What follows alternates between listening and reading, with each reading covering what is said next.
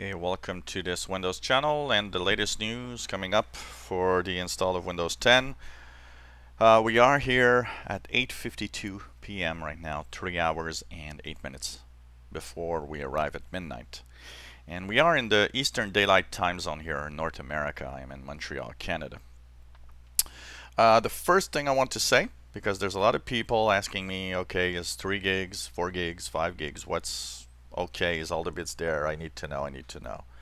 Uh, first of all, pretty much all the installs that I've seen from Windows 7, Windows 8 seems to point that we're around 5 to 7 gigabyte, depending on the computer you're using. So 5 dot something to 6 is, seems to be pretty much the full install of Windows. Uh, my two Windows 7 machine are pretty much equal at 5.8 gigabyte. My Windows 8 machine 5.9, something like that, 5.7. And uh, the only one that's lower than 5 gigabytes is uh, my Insider Preview machine that is at 4 gigabytes. So I would say that if you're above 5, you probably have all the bits already if you see especially that the folder doesn't change anymore. Above 5 gigabyte, gigabyte of download is uh, pretty much the full install and it's sleeping there. Now, how do you start it? Everybody's saying, do I click on the setup? No. You wait the notification. There's a pop-up that's going to appear that's going to let you know when to install it. So don't do anything before you get the notification. Second, uh, a lot of you been really nice in telling me, okay, I'm in India, I'm in Europe, I'm people from all around the place been telling me, okay, we're past midnight, I still have nothing happening. So it's interesting because it um, when I posted a video about the Chinese possibly installing right now, and uh, that news was on many websites, I thought to myself, okay, this could be fake, this could be we're not really sure, you know, because that could be a, simply a window of a Chinese version of a preview that's installing. And so I um, I still posted it just in case to see if, you know, it would happen. It seems that nobody's been really installing yet. And um, I've read two reports, and one from a source that's pretty accurate usually, which is The Verge, that seems to point out that the install will go ahead starting midnight Eastern Daylight Time North America. Midnight Eastern Time in North America.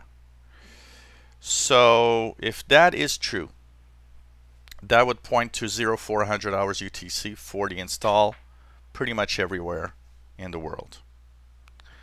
Uh, another thing that I was thinking of while um, posting this video is that there could be a possibility that the time zone for the install would be midnight Pacific.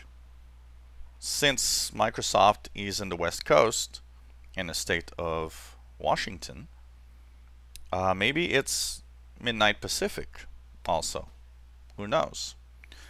So, um, of course, if it's midnight Eastern Daylight, I will stay up tonight, um, at least for 30 minutes to an hour, to see if something happens.